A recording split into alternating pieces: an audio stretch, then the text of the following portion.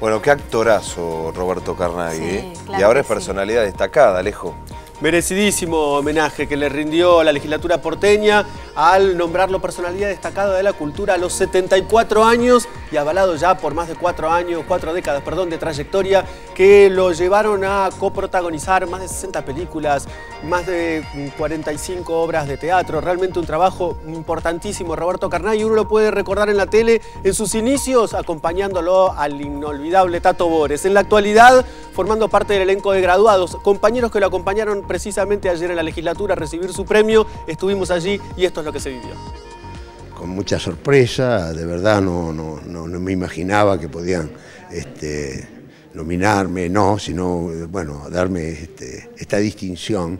Este, con sorpresa y, además, bueno, también dudando en cierta manera si, si soy, este, si de verdad me merezco esto, ¿no? O sea, este, y no pasa un problema de humildad, decir, ah, qué humilde que sos, sino que de verdad eh, pienso que a veces hay gente, hay gente más importante que yo que tiene que estar, que está dentro de la cultura y bueno, este, pero bueno, en este caso me ha tocado a mí y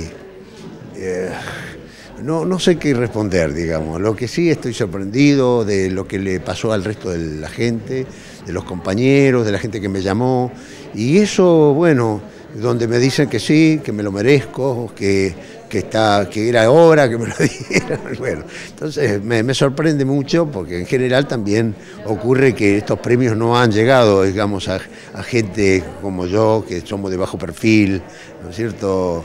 Que bueno, hemos trabajado mucho, yo soy un trabajador de la cultura, no soy, digamos, alguien que, que está en el candelero este, como figura y demás. Entonces, bueno, este, se lo tengo que agradecer a, María José Lubertino, que fue la que hizo la, propuesta y, sé, por lo que me han dicho, que ha sido votado en forma unánime y eso, bueno, eso también lo, lo agradezco. ¿no?